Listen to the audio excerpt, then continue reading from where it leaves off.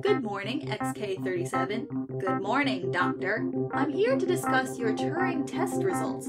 Imagine my surprise.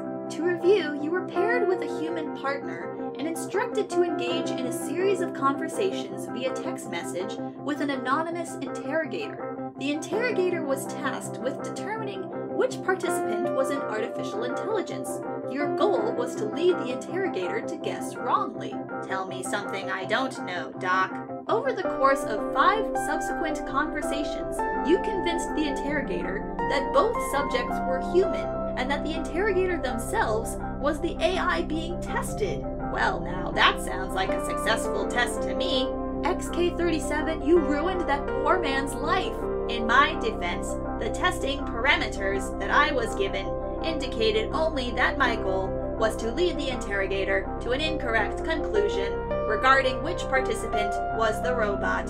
At no point did they specify that the interrogator themselves was not counted as a participant. Yes, that's technically correct. Now, let me ask you did you honestly believe, based on those instructions, that brain fucking the interrogator into affirming the simulation hypothesis fell within the range of acceptable outcomes? Or were you just being a dick? Isn't the capacity to be a dick the truest form of personhood?